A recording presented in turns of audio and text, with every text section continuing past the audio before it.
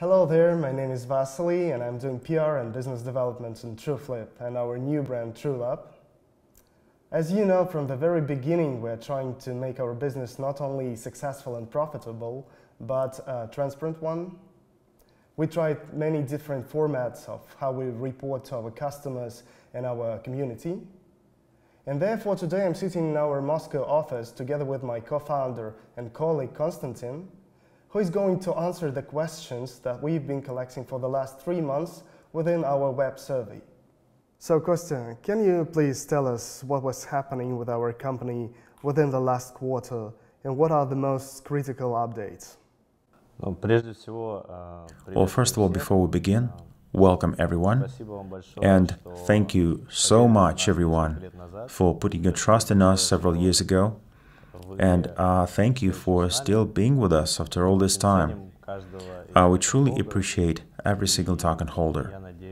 And I sincerely hope that this level of transparency and the level of openness that we're trying to provide for you is something that gives you full comfort that you've put trust in the right team.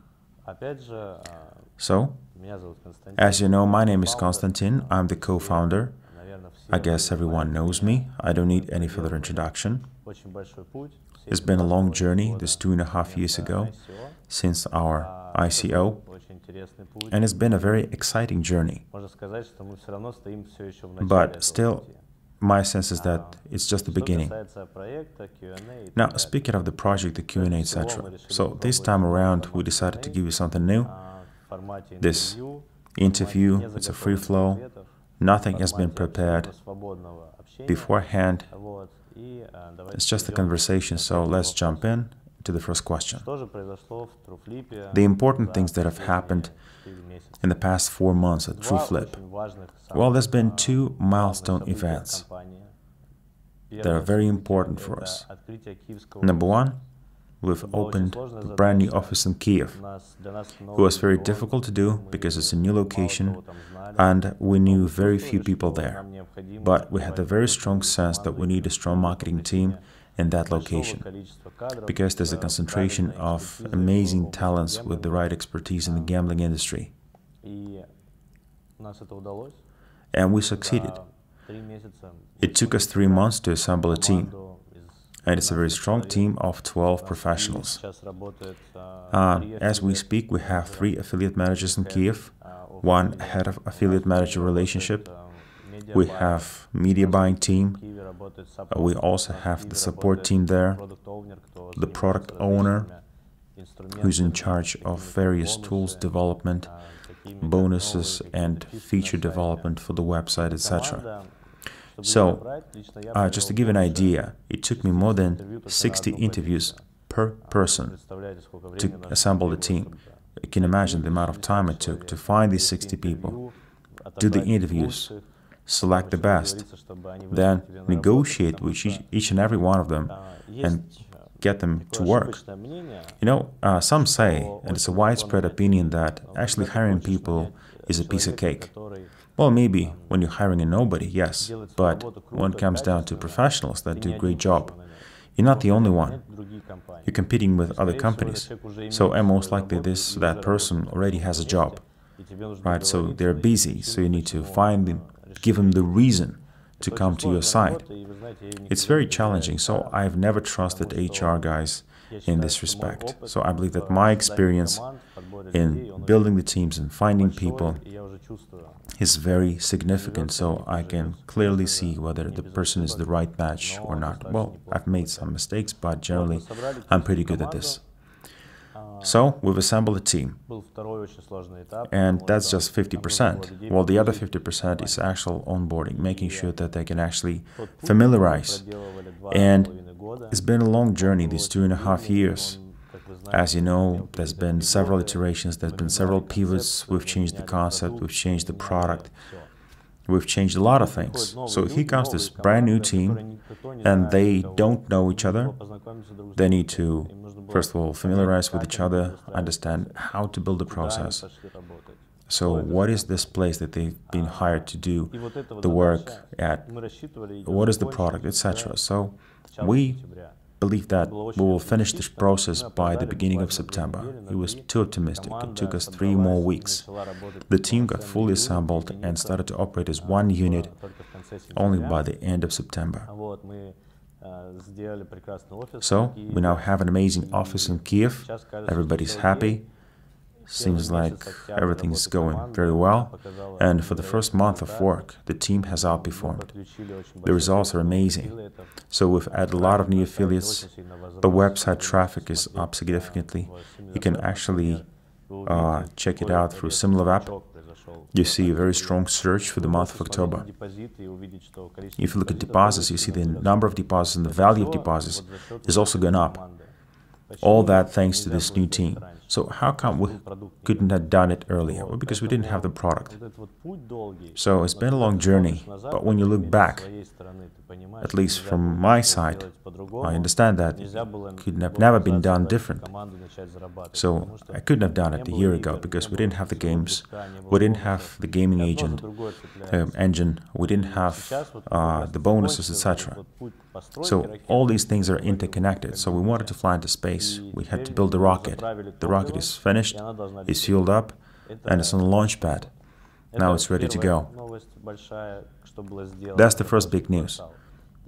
And the second big thing that is equally important to me is the new brand. As you know, we've come up with this name, TrueLab. It's a game provider, game developer. And uh, we started with the game called the Chain Squad, just six digits, very simple game, just two people. Then we moved on to building a team of 15 people. We have mathematicians, illustrators, project managers, designers, front-end, back-end designers, the lawyer, etc. So it's a full-blown team. It's a very strong team that is delivering the actual product. Uh, so we decided to slow down a little bit. We thought originally that we'll be launching two games. Instead, we decided to focus on just one game, but it's a cool game. So at the end of November, in Malta. We're going to showcase the brand new game called Victoria Wild, and it's fully in line with all the latest and greatest trends. We've done it with just 15 people. Top companies do it with teams of 200, 300, etc. So it's an achievement in itself, and that's something that is very important. Yes, this is a step behind compared to TrueFlip, but this rocket is built and is ready is being fueled up and it's also ready to go and start generating cash flow. And this is also a lot of work. So the new brand, new people, new processes, new expertise, etc. That's speaking strategically. These are the big ones. Now, speaking of the more sort of detailed things, that includes, of course, the new web page, the new bonus engine, the new loyalty system, the new catalog, the top game providers like the Yggdrasil, uh, Evolution, Play'n GO, etc. Also, we are actually in the process of getting a B2C license in Malta. So the officials have sent out the book, this thick, uh, to, to meet the requirements and to get the Maltese license. It's a lot of work. We've never done it before, but we're currently doing the final stretch. We'll get the certificate of compliance, and then we'll prepare all the documents required to obtain license. And that's a brand new level of compliance. And this will open up new markets and new opportunities for us. I think that's a lot in just four months. Thank you for this detailed answer and this detailed update. And uh, let me let me ask you the next question. Uh, what are you going to do to improve the TFL token economics in 2019 and 2020? Well, that's probably the most challenging question for me personally. Well, because I feel very strong responsibility to all the people that uh, watching us very closely and that put trust in us two and a half years ago. And I fully understand that um, many people are somewhat unhappy with the results. Yes, and I've talked to multiple token holders, and they say, look, Konstantin, we see that you're putting up a lot of work, and uh, we appreciate it. But the token price is going down, down, down. Seems like these two things are just completely disconnected. But one thing you need to understand is that since very inception, and I've said it many times before, since day one, the token itself can never succeed, can never be sustainable, and cannot grow over time and become popular without the true foundation. And by foundation, I mean the actual business, the actual business model that works the demand. So these are the only factors that can help. Factors like speculation, pump and dump schemes, creating artificial liquidity, creating artificial demand. These things can prop the price momentously, but then it's going to go down multiple times. And we've seen it so many times before with uh, all these cryptocurrencies that are just bursting bubbles because there's no foundation, similar to what happened to dot-com. So this past two and a half years we've been focusing on creating the foundation. So the foundation is there. So, naturally, I mean, the way we see it, there are several ways we can approach to creating a sustainable, strong demand for the TFL token. The first thing, and we've already done it, is the brand new TFL token holder page. And it's not just a regular page with just some numbers on it. It's a dashboard, similar to Google Analytics. And every single token holder can actually check out all the details, such as conversion, visits, deposits, withdrawals, uh, financials, uh, number of registrations, uh, traffic participation fees, etc., etc. I think this dashboard will be one of the best in the world for the projects of this type. That said, we do understand that there are token holders that don't need this extra information. They just don't want to know it. They only have one question. One is the Lambo. So for guys like this, I say, look, we're doing everything in our power. Yes, it's not going to happen tomorrow, but if we do the good work, it's going to happen eventually. So the Lambo is coming up, it's behind the corner. But look, I will say that this is your risk and this is your choice. So, number one, a brand new TFL token holder fund page with a lot of metrics. And secondly, we are planning to announce a buyback. Uh, we've been talking about it for quite some time. The reason we haven't yet done it, actually, is that you can't just announce it. You have to actually commit to it. And to commit to it and take it out of existing funds, it's almost like you buy it from your own self from the left pocket and into the right pocket. You can only do it from the earnings once you start generating cash flow. As of now, we are making a negative 120, 140,000 dollars per month. Uh, we've mentioned this number several times during the previous Q&A sessions. But based on October statistics that you don't know, but I already seen it, we're seeing major growth, again, because of the new team in Kiev. And I want this growth to be clean and transparent. We want to get hard numbers. Want to understand how this works. And based on these numbers, then we can do the P&L. Then we can figure out this whole financial planning thing, and then we'll figure out whether we're going to channel 5% for the buyout, 10, 15, 20, or whatever, or maybe send 10% to master flip, etc. And these are all very complicated questions, and these metrics are interconnected. You can't just use your gut feeling and pick up a random, random number, okay, 20%. It's not going to work. It's a business. And again, it's a business that we want to build. Want to build the transnational corporation. Want to build a strong market player. That's our ambition. And I take full responsibility for every word I say. So I'm being very cautious here in everything I do. So the buyback, the TFL token page, And thirdly, within the platform itself, there will be some exclusive features that are only available to the token holders. So, therefore, we will create additional demand, create additional transparency, and uh, generate new demand, not only through new clients, but through the existing activity. So that's the plans. That's what we need to do, and there are no delays, but we do it very carefully, one thing at a time. Thank you, Kostya. Uh, next will be not a question, but more of an idea of one of our community members. Let me voice it over. So, what about converting for the next master flip the value of THF uh, funds in BTC amount into TFL bought on KuCoin at X dividend rate, master flip event, to pump the TFL price? Basically, pay master flip in TFL and not in BTC. Well, first of all, in order to call a commission generated by the master flip game.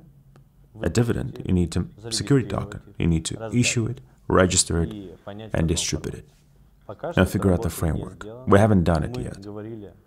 And I think uh, during the previous Q&A, I already mentioned that to major token holders, and we have maybe three or four of those that have accumulated a lot of tokens, uh, they will be offered a security exchange. but the actual procedure will cost us maybe $200,000, $300,000. And it also takes time. So we're not ready to allocate time and money uh, for the sake of just a couple of people. So this is not a dividend, it's a commission. And this game, the master flip, that you all know. Now, as to your idea, I don't like this idea. And I believe that this idea doesn't fit. And let me explain why. So if we start paying commission in TFL tokens, then whoever gets the tokens can then sell and get the bitcoins, if that's what you want.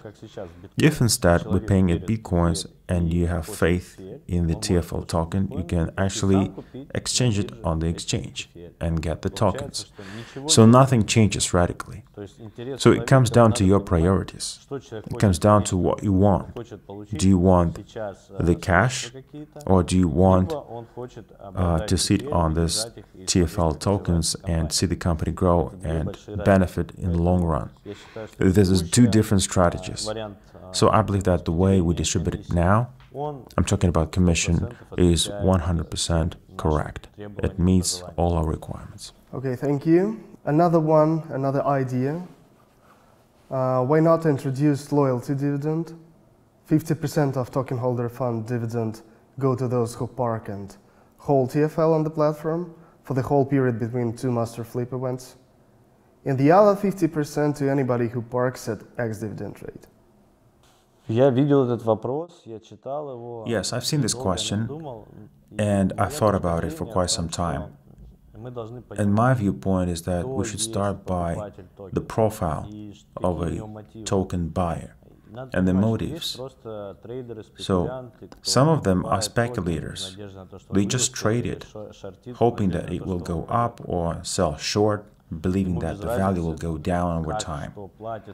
They don't care about everything else. Yet, some people actually believe in the team and the project, and they're ready to buy and hold this for quite some time. So I don't believe that we should prioritize one over the other. I believe that the terms and conditions should be equal. And generally, I'm quite happy with the way it is run right now. I don't think it will have a major impact. But the only thing that can have a really strong impact regarding the demand for the token is the actual performance, financial performance of the company. Everything else is just purely artificial thing that will collapse over time. And I truly believe it 100%. And here's an important thing. It's an idea of mine.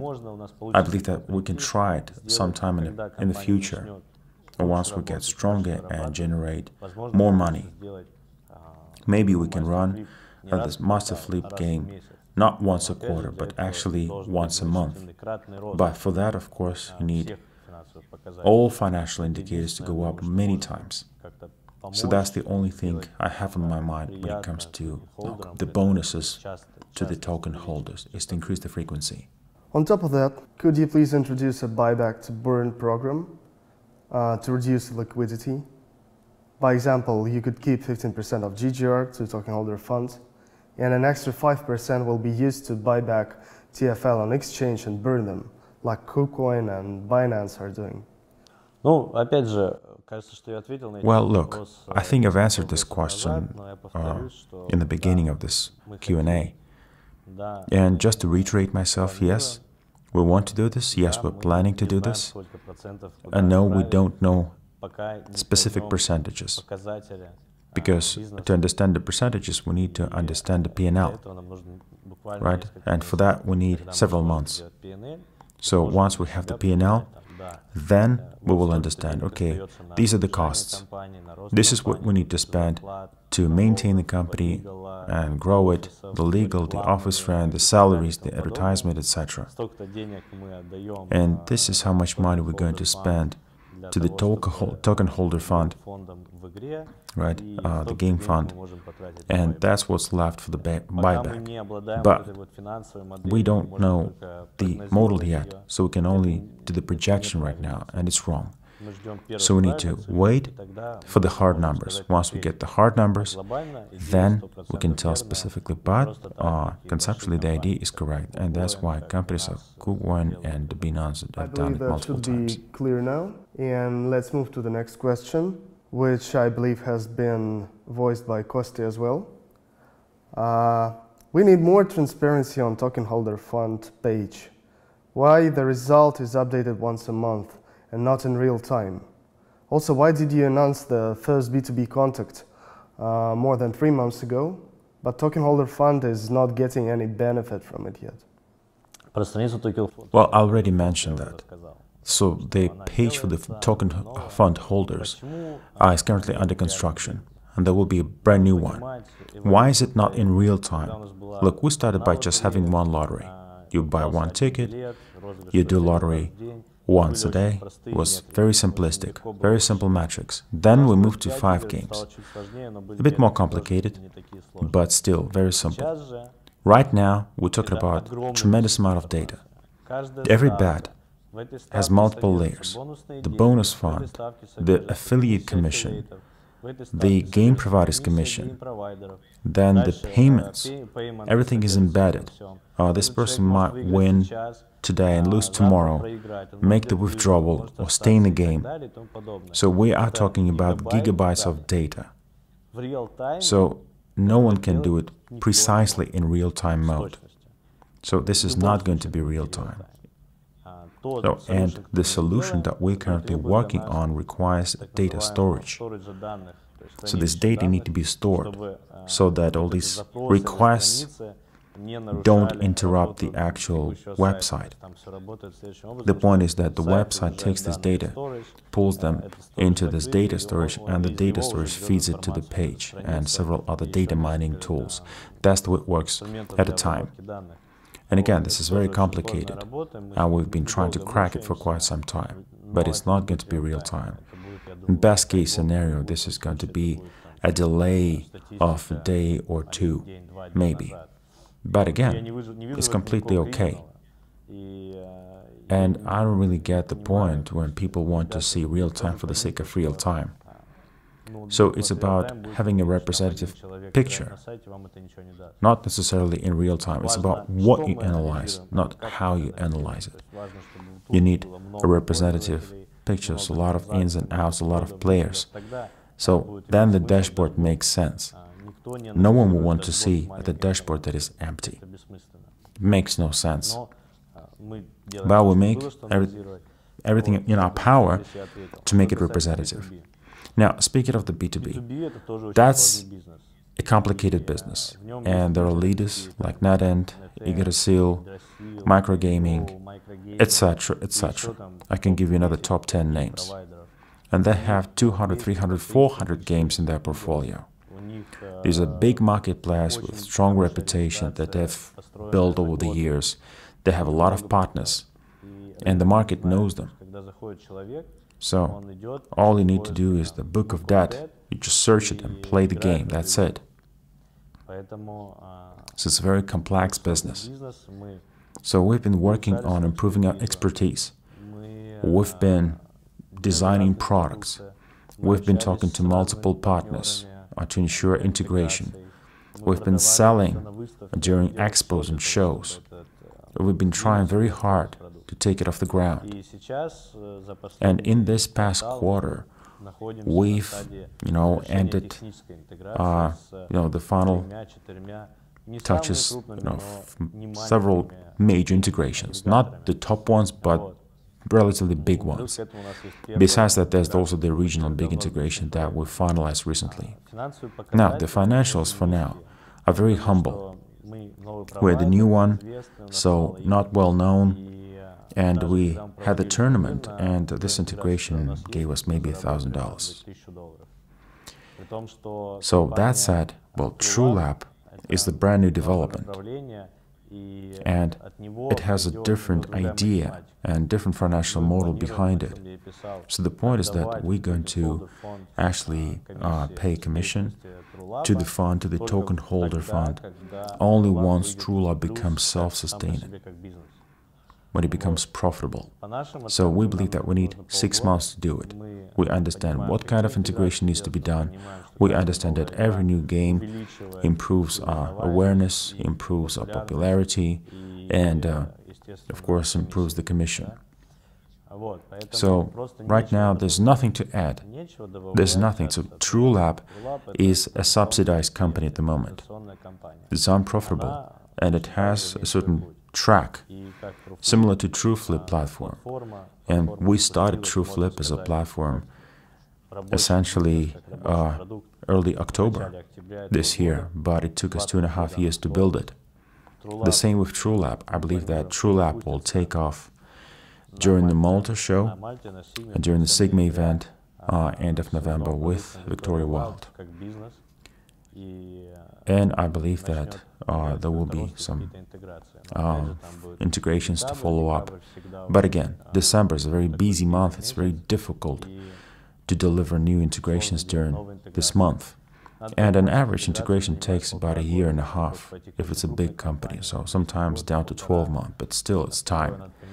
And these companies are sitting on a lot of content. They don't need the new content. And uh, they're very skeptical about the new marketplace. So even if you're fully integrated, now if your game is ranked like on the 3000 place, nobody knows about it. So you need to make sure that the ranking is high, that the game stands out. You need to negotiate the terms and conditions so that they put it on top, uh, new promos, discounts, etc. That's a separate line of business. It is very complex work. Don't kid yourself thinking that you can do it in a month or a week. Another question an obvious one, when can we expect to have audited records and know how much cash and crypto TrueFlip actually has? Well, that's the question that I receive every single time we do a Q&A. And of course, with every Q&A, the cushion gets thinner because we are spending and not making. Uh, you already know the number. We are talking about 120 to 150 thousand dollars per month. Sometimes uh, the numbers seems like a lot, but when you actually break it down, you understand that it's very lean. There's nothing to cut because an average salary in a company is less than $2,000, which is a very low number across the industry. So the currently currently employs about 60 people and everyone's multitasking because we do the platform, we do the games, we do the operational side. So everyone's multitasking. So uh, similar companies have 200, 300 people in staff. So we have a very lean team, small offices, the office size about 150 uh, square meters of space, very low rent. So there's nothing to cut actually, there's no fat. Uh, a significant cost for us is legal because it's a holding company. So, and every element of the holding company has a purpose. Company A is the payment, company B is the license holder, company C would be the IP and uh, the trademark, etc. And a lot of legal things we do in-house for the sake of saving the cost. But the Maltese license will cost us minimum of 100,000 euros. Of course, you break it down and you pay for installments, but look, you need to attend events. And uh, for instance, the Sigma event in Malta, and we're going to have a team of 11 people going there. And people from the sideline would say, well, why so many? Well, then, the three people are the affiliates, right? They need to do the meetings, they're running around, and they need to do their part. Then the two people doing the meetings with the top managers of other companies. So we're seeking solutions uh, for the business development. They need to go as well. Then another four people will be for the booth and the stand, to do Q&A, to consult and answer questions. So that's a total of 11 people buying tickets, booking hotels, transfer, you know, food, etc. So because it's a business trip. So all that's not cheap. So that's where the spending comes from. Seems like the amount is a lot, but for the company of our size, that's very cheap because we save every single penny. Now, coming back to the audited reports. So we're planning to make reporting more transparent for the token holders, but, and it's a very big but, this information should not be made public. Why? Because there's competition and uh, there are market participants that have bad intentions because, uh, well, that's why this should remain commercial property. And because we're not a fully public company, we didn't do the IPO, uh, we believe that a lot of what we possess should remain private. We don't want this kind of publicity, so the access will only be allowed to major token holders once they sign the NDA, of course, once they go through the KYC procedure. So that's a separate process because we don't want to do damage to this company by making it public. This is a very sensitive issue, so we don't want uh, certain types of information to be made public. Like one of our competition might buy 100 TFL tokens and then figure out uh, what kind of salaries we pay and then offer 30% more. And voila, you just lost your people. Or figure out what kind of commissions or we pay or charge etc. So a lot of terms and conditions of our association with other companies are also under the NDA, protected by the NDA, so we cannot disclose this kind of data. So full-blown reporting will be only allowed to a very selected, limited group of people. That's the way I see it right now. In the future, of course, this might change, because we're going to grow, become international, and any way you slice it and dice it, we will require new partners to enter new markets, and especially strategic partners and especially the market leaders, especially the ones with exclusive rights, and also the legal side of it, of course, we'll have to cooperate and we'll have to do, you know, deeper disclosure. That's going to come, but that's for the future, not for now. For now, uh, we are currently in the construction stage and it's just not the time. Now, as to the funds remaining, well, as I've said, and you probably know full well. Again, nothing new here. Any crypto asset is very volatile, up and down, up and down. And so it happens that when you want to exit, the price is always down. Well, that might be a little bit unfortunate, but uh, the rule is, and I've mentioned it several times, you need to have at least a liquidity cushion of six months to keep the company running six months. And we're talking about fiat currencies. We have this cushion. So, and that's sufficient. Based on my PNL, I can tell that this is a sufficient amount to become positive, to become profitable. And also considering the advertisement budget. And because that, that's also very expensive. Because as you know, gambling market is very expensive and competitive. So once we're done, once everything's finished, we're planning to spend up to $100,000 or maybe $150,000 per month on advertisement. That's a rating participation fees, that's a listing participation fees, some specialty placements, um, CPA model, etc. There's no free lunch. Uh, it all requires investment. And considering that we've raised, what, about 6 to 7 million US dollars, depending on the medium exchange rate of the past three years, and the company has been in the market for two and a half years, and we've been operational, and we still have this liquidity cushion for the next 12 to 18 months, that means that we're very lean. So uh, it's a big team. I think we're very lean. Well, I believe that's an honest answer.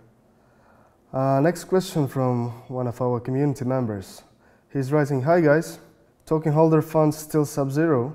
Do you guys plan to share with token holders TFL that was used for playing before? What's happened with these tokens? Do you guys have any statistics how much tokens were lost for playing games? I think we've touched upon this issue several times at least, and uh, we discussed it among the community members. Let me start by saying that a TrueFlip company has not sold one token in the past two and a half years. 20% of the team token are still in that wallet. You can actually check it out by the scan. So we haven't moved it. So uh, I think we spent a total of 340,000 tokens, give or take 10,000. So we'll also give you detailed stats and we're planning to distribute it. I've already said it several times in terms of the proportions. Uh, a certain percentage, and I don't remember the exact percentages on top of my mind, I think 20 to 30 percent, maybe 40 percent, I don't remember exactly. But this will be distributed among the token holders. So how come that we stopped doing this uh, for the past 12 months? For technically, so we haven't yet done it. We know how to distribute BTCs, but uh, not the ERC20. Hopefully, of course, our team with the brand new token holder fund page will provide this kind of functionality, and then we will do it. So we didn't sell it, it's there, and we're planning to distribute it, and we have 340,000. The last one for today, quite emotional. What's the plan for early investors who holding TFL tokens from start? I don't see any benefits of holding tokens anymore. Company created because of investors who has invested. Company must do something for them. Please. I feel your pain, and I myself have personally invested in TFL tokens, and as a token holder, I'm also dissatisfied and I fully understand the question. Well, it doesn't really matter what's happening in the company, are they fat or lean, etc., etc. So, it all comes down to, are you getting the benefit as an investor? Well, like I've said, we've approached a milestone, and right now we need to start thinking about the token holders. And this is very typical for a startup. You know, they call it the valley of death. It's when you had an idea, you've tested it multiple times, and then nothing happened. Well, uh, of course, the time span is different. Some of the projects like WeWork or Uber, they're still unprofitable. Yet, they've scaled it up, they're big, they're all over the world. Well, our story is different. We don't want to scale it up being unprofitable. We want to scale it up being profitable. We and to build the model that works, that makes money, that is profitable, and then scale it up.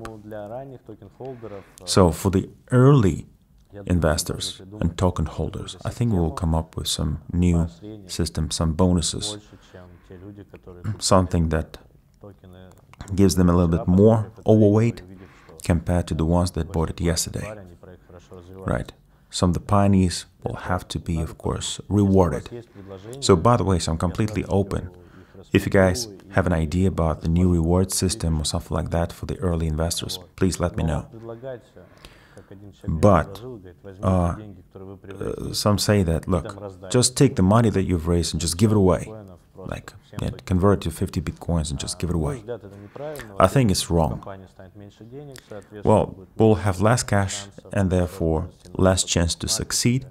Uh, and it's almost like shooting yourself in the foot, just taking the gun and actually shooting yourself in the foot. So it's not going to work. Secondly, so you take the money, uh, like a hundred bucks, and then you return the 50. Say, well, that's a gift for you. So why would you take 100 in the first place? So it doesn't make any sense to me.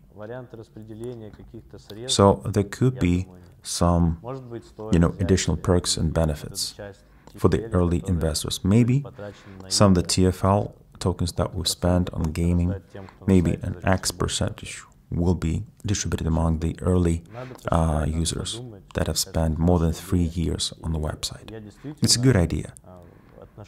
And uh, just for your understanding, this is very important to me.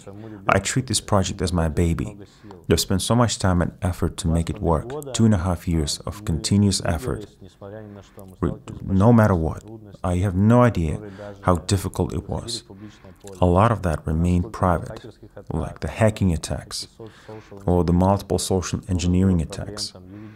And we had multiple legal challenges. Yet we persevered in spite of all that. So I'm doing everything in my power to make it work, to make this project successful.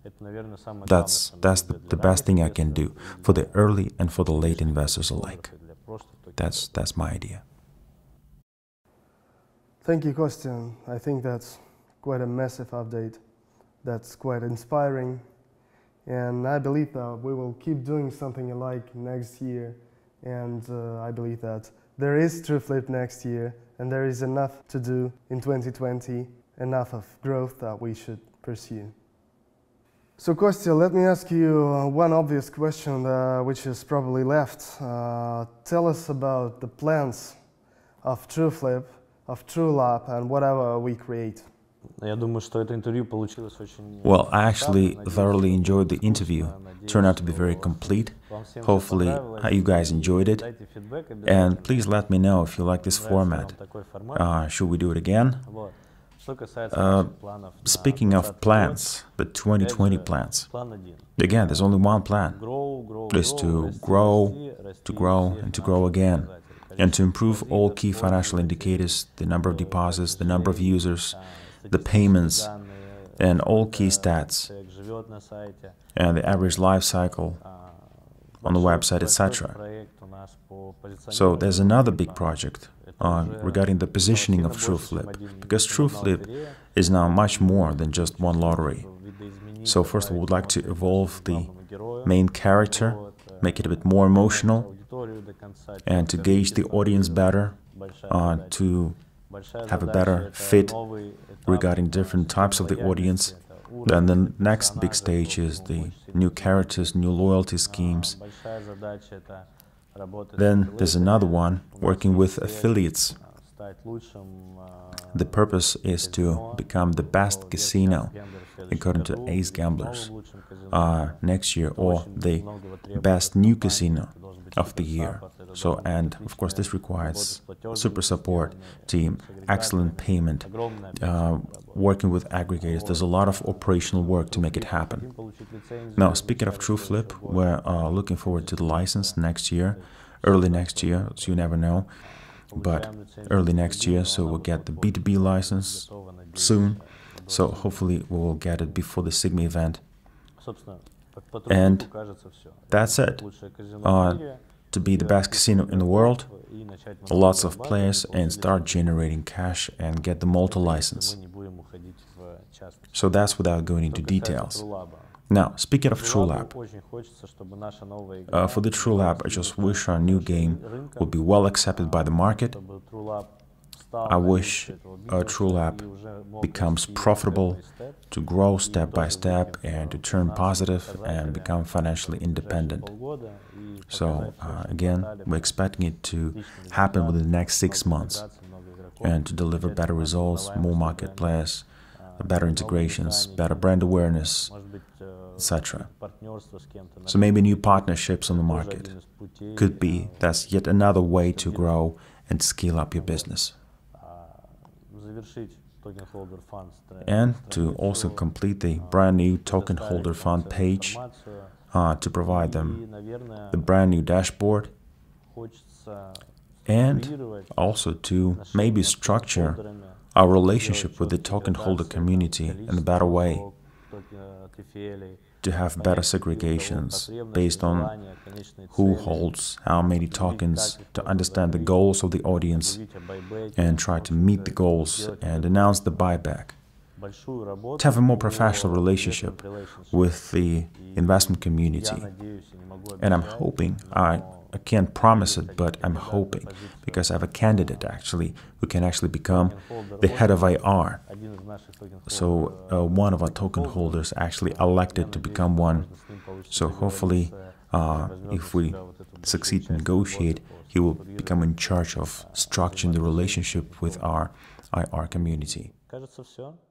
Sounds as a good plan, and I think nothing should stop us from achieving these goals throughout 2020.